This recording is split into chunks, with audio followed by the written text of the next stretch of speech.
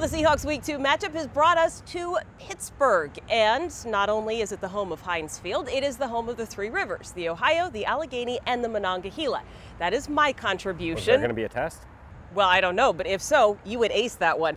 John Boyle, however, is going to contribute with our key matchups for Sunday's game. And look, we have to start with the Seahawks run game because I know they didn't run it the way they wanted to last week, and there's a tough test this week. Yeah, there sure is. Yeah, the Seahawks last week, they really struggled to get going on the ground. They only gained 72 yards on 25 carries.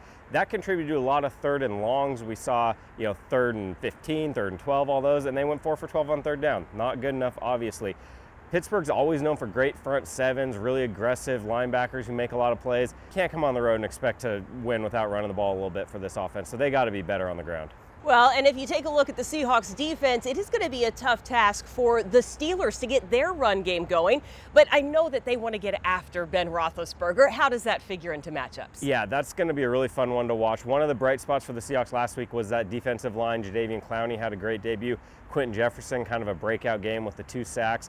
We don't know yet if Ziggy Ansah is going to be back, but if he is, that just makes him that much better. But they're going against a great offensive line. The Steelers have 13 Pro Bowls between their five linemen, including a local guy from Bellevue, David DeCastro, and of course Maurkice Pouncey, their center.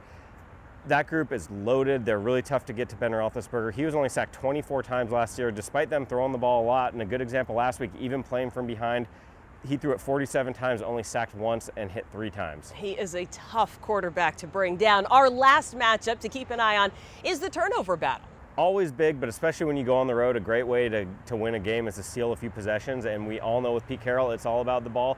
Last season, Seahawks plus 15 led the NFL. They only gave it away a league low 11 times. Pittsburgh, on the other hand, has struggled in that regard. Last year, they were minus 26, which is one of the worst in the NFL, and they're minus two this season, or, or minus one, excuse me, and the Seahawks are plus two. So if, the, if, those trends continue, that'll help the Seahawks quite a bit. Well, and the Seahawks are looking to improve to 2 0 on the season. John Boyle's got you covered. Seahawks.com, and make sure you listen to the game on the Seahawks Radio Network.